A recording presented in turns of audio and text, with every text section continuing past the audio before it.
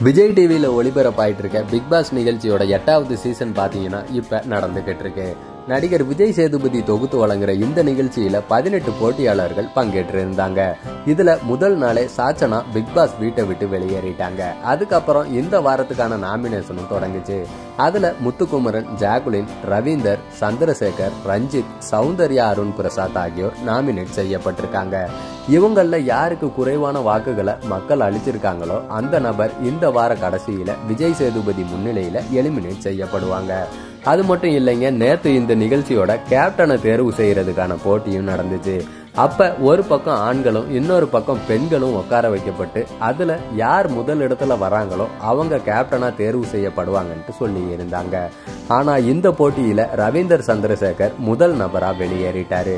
மத்தவங்க எல்லாம் வேகமா ஓடி போய் இருக்கையை பிடிச்சிக்க இவரால தன்னோட வெயிட்டான உடம்பால ஓட முடியலை. ஆனால் இப்படி ஓடி வந்தது அவருக்கு சிக்கலை ஏற்படுத்தி இருக்கு. அவரோட காலில் காயம் ஏற்பட்டு வலியால துடிச்சிருக்காரு. இதை தொடர்ந்து அவருக்கு வலி நிவாரணி அளிக்கப்பட்டு மாத்திரையும் கொடுத்திருக்காங்க. இதன் காரணமாக பிக்பாஸ் வீட்டில் இருக்க மற்ற போட்டியாளர்கள் அவரை கை தாங்களா கூட்டிட்டு போய் படுக்கையில் அமர வச்சாங்க.